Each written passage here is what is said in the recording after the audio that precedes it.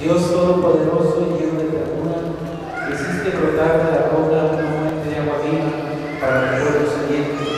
Arranca de la dureza de nuestro corazón lágrimas de arrepentimiento, para que podamos llorar nuestros pecados y merezcamos por tu misericordia alcanzar su perdón.